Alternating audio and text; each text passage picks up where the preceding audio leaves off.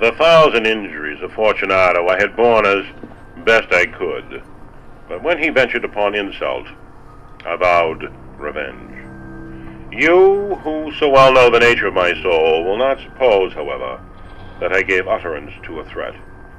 At length I would be avenged. Uh, this was a point definitively settled. The very definitiveness with which it was resolved precluded the idea of risk.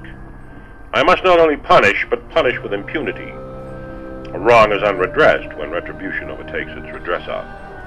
It is equally unredressed when the avenger fails to make himself felt as such to him who has done the wrong. It must be understood that neither by word nor deed had I given Fortunato cause to doubt my goodwill.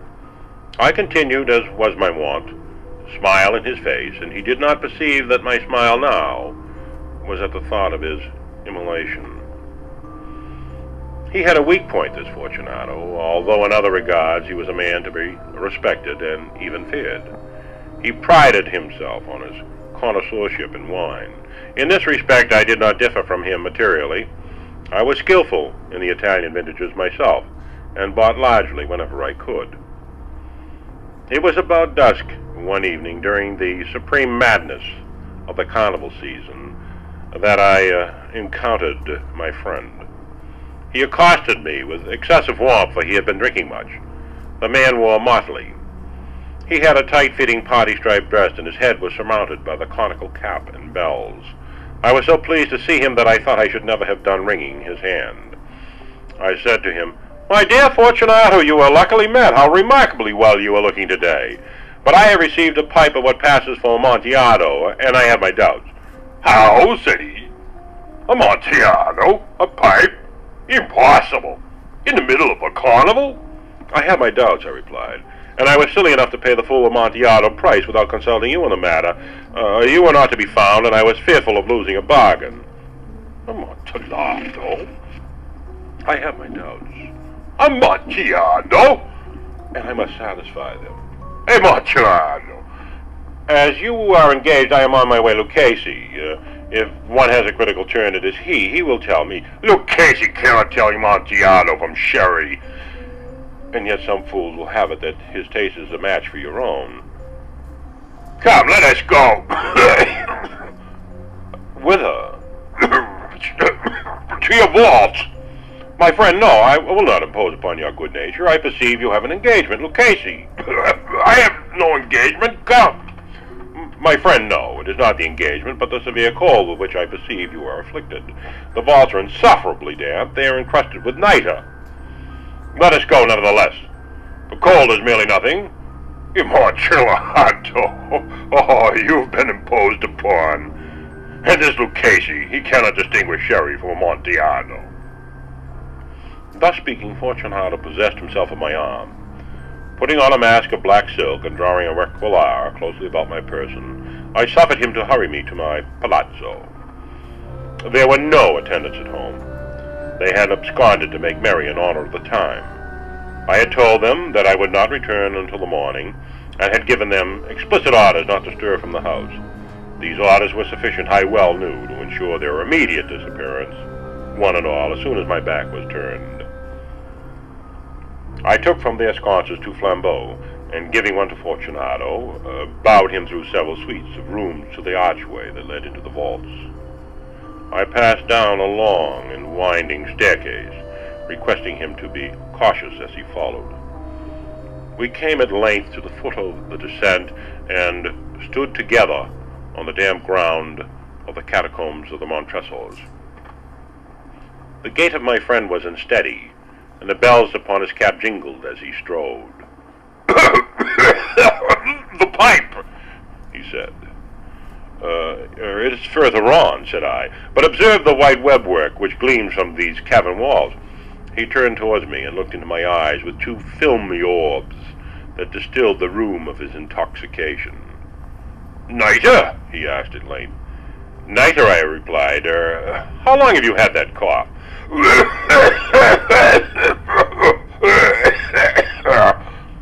My poor friend found it impossible to reply for many minutes. It, it is nothing, he said at last. Come, I said. Uh, we will go back. Your health is precious. Uh, you're rich, respected, admired, beloved. You are happy as once I was. Uh, you were a man to be missed, and for me it is no matter. We will go back. You will be ill, and I cannot be responsible. And besides, there is uh, Lucchese. Enough, he said. The cough is a mere nothing. It will not kill me. I shall not die of a cough. Uh, true, I replied. Uh, but you should use all proper caution. A draught of this Medoc will defend us from the damps. Here I knocked off the neck of a bottle which I drew from a long row of its fellows that lay upon the mold. Drink, I said, presenting him the wine. He raised it to his lips with a leer. He paused and nodded to me familiarly while his bells jingled. I drink, he said, to the buried that repose around us. And I to your long life. He again took my arm, and we proceeded. Uh, uh, these vaults, he said, uh, are extensive. The Montresors, I replied, were a great and numerous family. Uh, oh, uh, I forget your arms. A huge human foot d'or in a field azure. The foot crushes a serpent rampant whose fangs are embedded in the heel. And the motto? Nemo me impune lacessit. No one provokes me with impunity. Oh, oh, good, he said. The wine sparkled in his eyes and the bells jingled. My own fancy grew warm with the Medoc. We had passed through walls of piled bones with casks and puncheons, intermingling in the inmost recesses of the catacombs. I paused again, and this time I made bold to seize Fortunato by an arm above the elbow. The nitre, I said. Uh, see, it increases. It hangs like moss upon the vaults. Uh, we're below the river's bed. Uh, the drops of moisture trickle upon the bones. Come, we will go back it's before it's too late. Your cough. it is nothing, he said. Let us go on, but uh, first another draught of the Medoc. I broke and reached him a flacon of de Grave. He emptied it at a breath. His eyes flashed with a fierce light. He laughed and threw the bottle upwards with a gesticulation I did not understand. I looked at him in surprise. He repeated the movement, a grotesque one. Uh, you, you do not uh, comprehend, he said. Not I, I replied.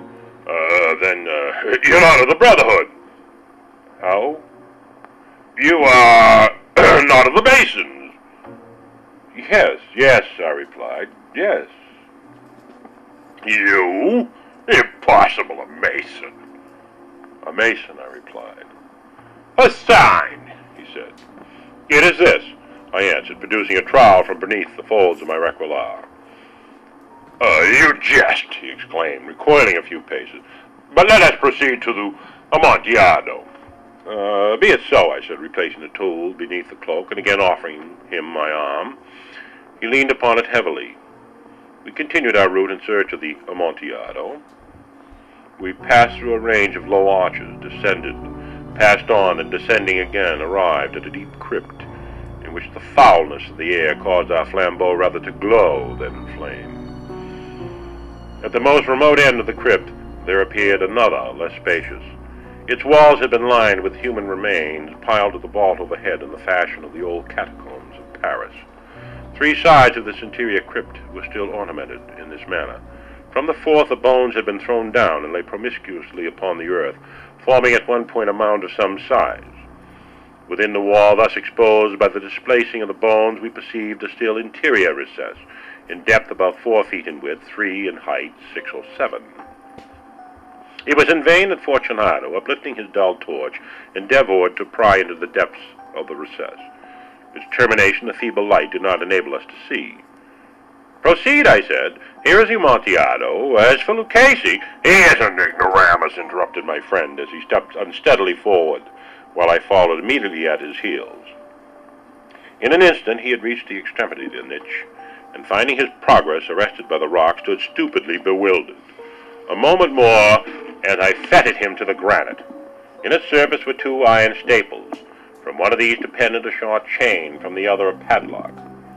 Throwing the links about his waist, it was but the work of a few seconds to secure it. He was too much astonished to resist. Withdrawing the key, I stepped back from the recess. Uh, pass your hand, I said, over the wall. You cannot help feeling the niter. Indeed, it is very damp. Once more, let me implore you. No? Then I must positively leave you. But I must first render you all a little attention to my power. The Amontillado! ejaculated my friend, not yet recovered from his astonishment. Uh, true, I replied, the Amontillado. As I said these words, I busied myself among the pile of bones of which I have before spoken. Throwing them aside, I soon uncovered a quantity of building stone and mortar. With these materials and with the aid of my trowel, I began vigorously to wall up the entrance of the niche. I had scarcely laid the first tier of the masonry when I uh, discovered that the intoxication of Fortunato had in a great measure worn off. The earliest indication I had of this was a low, moaning cry from the depth of the recess. It was not the cry of a drunken man. There was then a long and obstinate silence. I laid the second tier, and the third, and the fourth. Then I heard the furious vibrations of the chain.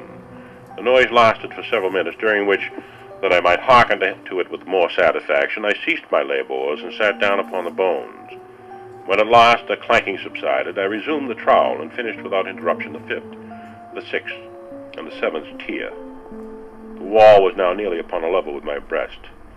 I again paused, and holding the flambeau over the masonwork, threw a few feeble rays upon the figure within. Ah! Ah!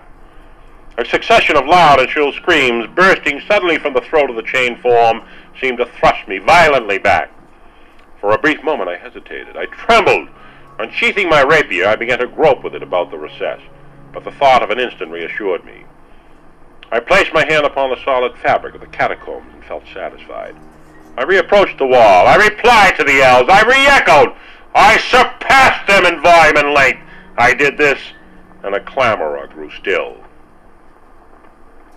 It was now midnight, and my task was drawing to a close. I had completed the eighth, the ninth, and the tenth tier. I had finished a portion of the last and the eleventh, there remained but a single stone to be fitted and plastered in. I struggled with its weight. I placed it partially in its destined position. But now there came from out the niche a low laugh that erected the hairs upon my head. It was succeeded by a sad voice which I had difficulty in recognizing as that of the noble Fortunato. The voice said, A very good joke indeed. An excellent jest. We'll have many a rich laugh about it at the Palazzo. Over our wine. the Amontillado, I said. yes, the Amontillado. But is it not getting late? Will not they be awaiting us at the Palazzo, the Lady Fortunato, and the rest? Let us be gone. Yes, I said. Let us be gone. For the love of God, Montresor! Yes, I said, for the love of God. But to these words I hearkened in vain for a reply. I grew impatient. I called aloud, Fortunato! No answer. I called again, Fortunato! No answer still. I thrust a torch through the remaining aperture and let it fall within. It came forth in return only a jingling of the bells. My heart grew sick on account of the dampness of the catacombs. I hastened to make an end of my labor. I forced the last stone into its position. I plastered it up. Against the new masonry, I re-erected the old rampart of bones. For the half of a century, no mortal has disturbed them. In pace requiescat.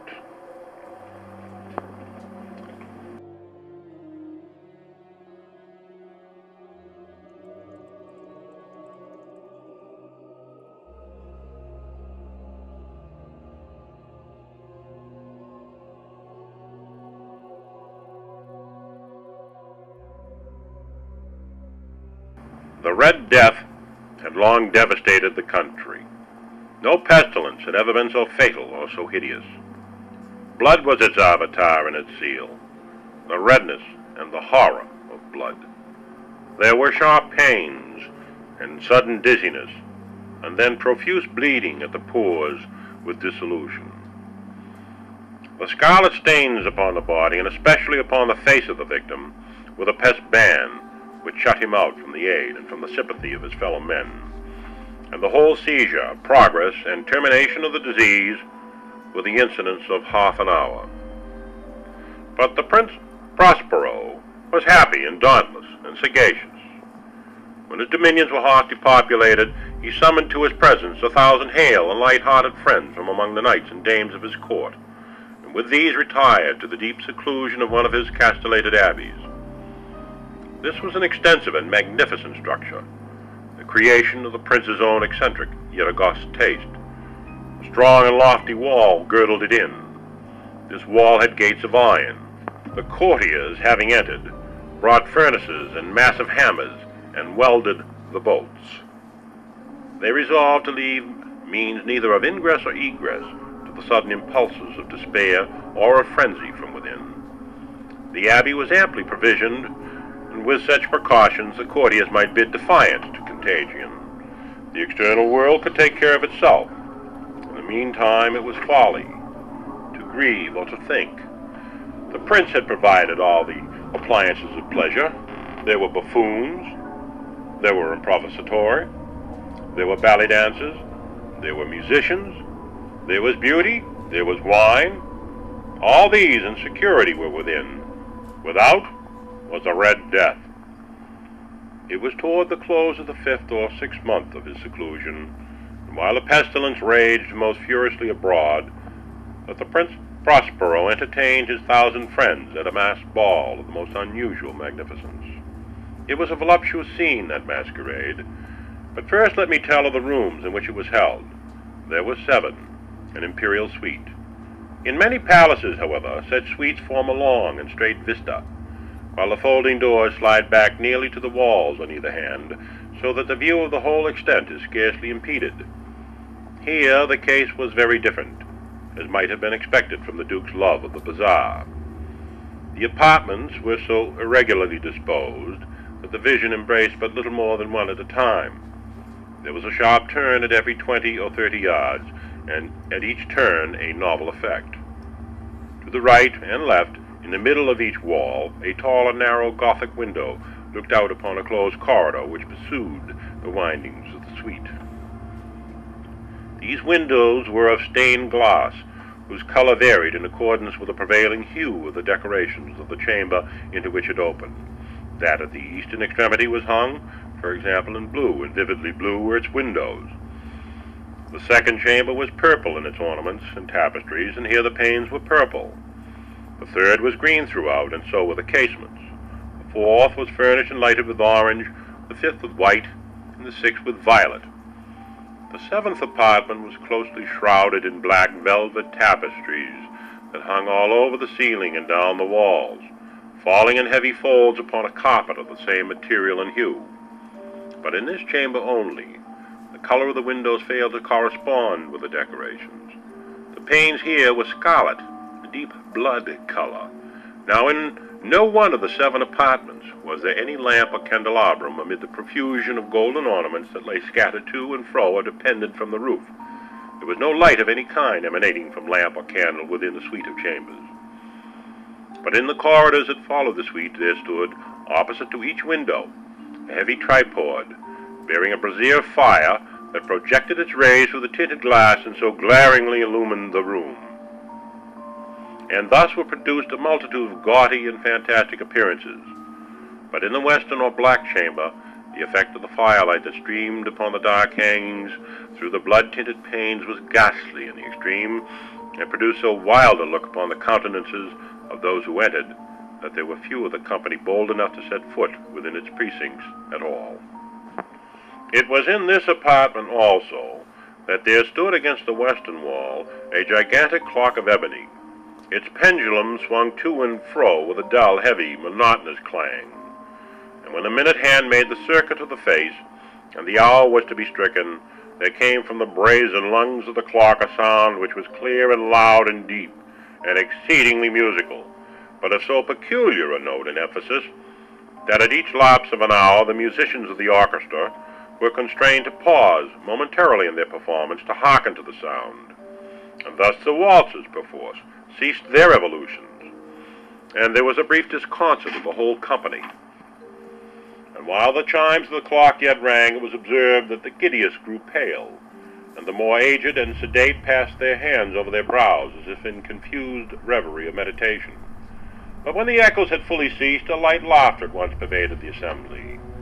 The musicians looked at each other and smiled as if at their own nervousness and folly, and made whispering vows each to the other that the next chiming of the clock should produce in them no similar emotion. And then after the lapse of sixty minutes, which embraced three thousand and six hundred seconds of the time that flies, there came yet another chiming of the clock, and then were the same disconcert and tremulousness and meditation as before. But in spite of these things, it was a gay and magnificent revel. The tastes of the Duke were peculiar. He had a fine eye for colors and effects. He disregarded the decorum of mere fashion.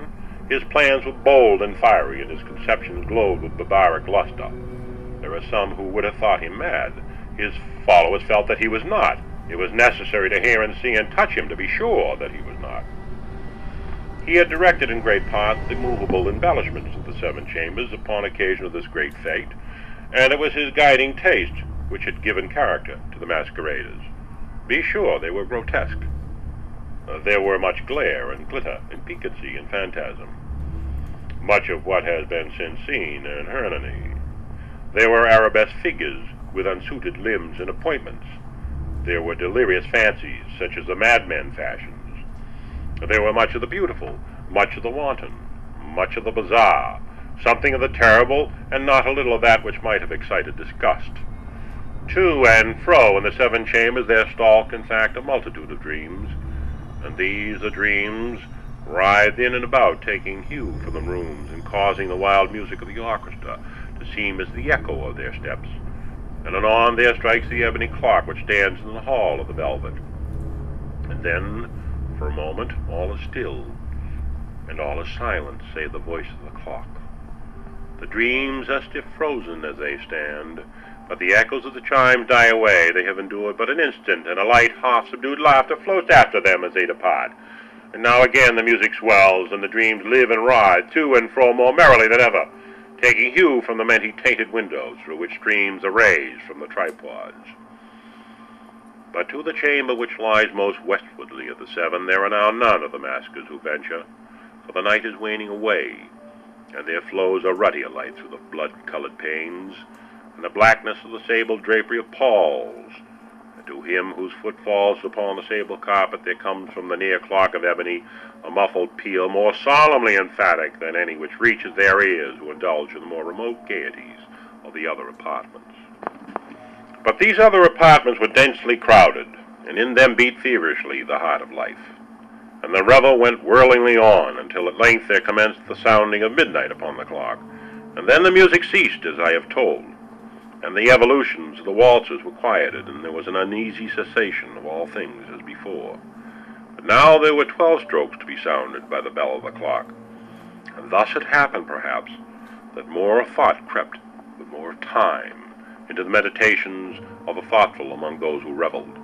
Thus, too, it happened, perhaps, that before the last echoes of the last chime had utterly sunk into silence, there were many individuals in the crowd who had found leisure to become aware of the presence of a masked figure which had arrested the attention of no single individual before. And the rumor of this new presence having spread itself whisperingly around, there arose at length from the whole company a buzz or murmur expressive of disapprobation and surprise, and finally of terror, of horror, and of disgust. In an assembly of phantasms such as I have painted, it may well be supposed that no ordinary appearance could have excited such sensation. In truth, the masquerade license of the night was nearly unlimited, but the figure in question had out-Heroded Herod, and gone beyond the bounds of even the prince's indefinite decorum. There are chords in the hearts of the most reckless which cannot be touched without emotion. Even with the utterly lost, to whom life and death are equally jests, there are matters at which no jest can be made. The whole company indeed seemed now deeply to feel that in the costume and bearing of the stranger neither wit nor propriety existed. The figure was tall and gaunt, and shrouded from head to foot in the habiliments of the grave. The mask, which concealed the visage, was made so nearly to resemble the countenance of a stiffened corpse that the closest scrutiny must have had difficulty in detecting the cheat. And yet all this might have been endured, if not approved, by the mad revelers around, but the mummer had gone so far as to assume the type of the Red Death. His vesture was dabbled in blood, and his broad brow, with all the features of the face, was besprinkled with a scarlet horror. When the eyes of the Prince Prospero fell upon this spectral image, which with a slow and solemn movement, as if more fully to sustain its role, stalked to and fro among the waltzes, he was seen to be convulsed in the first moment with a strong shudder, either of terror or distaste. But in the next his brow reddened with rage. Who dares, he demanded hoarsely of the courtiers who stood near him, who dares insult us with this blasphemous mockery? Seize him and unmask him, that we may know whom we have to hang at sunrise from the battlements. It was in the eastern or blue chamber in which stood the Prince Prospero as he uttered these words. They rang throughout the seven rooms loudly and clearly, for the prince was a bold and robust man, and the music had become hushed at the waving of his hand. It was in the blue room where stood the prince, with a group of pale courtiers by his side.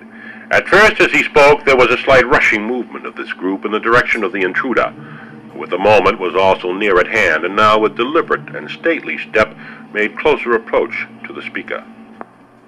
But from a certain nameless awe with which the mad assumptions of the mummer had inspired the whole party, there were found none who put forth hand to seize him, so that unimpeded he passed within a yard of the prince's person while the vast assembly, as if with one impulse, shrank from the centers of the rooms to the walls, he made his way uninterruptedly, but with the same solemn and measured step which had distinguished him from the first, through the blue chamber to the purple, through the purple to the green, through the green to the orange, through this again to the white, and even thence to the violet, ere a decided movement had been made to arrest him. It was then, however, that the Prince Prospero, maddening with rage, and the shame of his own momentary cowardice rushed hurriedly through the six chambers, while none followed him on account of a deadly terror that had seized upon all. He bore aloft a drawn dagger, and had approached in rapid impetuosity to within three or four feet of the retreating figure when the latter, having attained the extremity of the velvet apartment, turned suddenly and confronted his pursuer. There was a sharp cry, and the dagger dropped gleaming upon the sable carpet, upon which instantly afterward fell prostrate in death the Prince Prospero. Then, summoning the wild courage of despair, a throng of the revelers at once threw themselves into the black apartment, and seizing the mummer, whose tall figure stood erect and motionless within the shadow of the ebony clock, gasped in unutterable horror at finding the grave cerements and corpse-like mask which they handled with such violent rudeness untenanted by any tangible form. And now was acknowledged the presence of the Red Death. He had come like a thief in the night. And one by one dropped the revelers in the blood-bedewed halls of their revel, and died each in the despairing posture of his fall. And the life of the ebony clock went out with that of the last of the gay. And the flames of the tripods expired, and darkness and decay and the Red Death held illimitable dominion over all.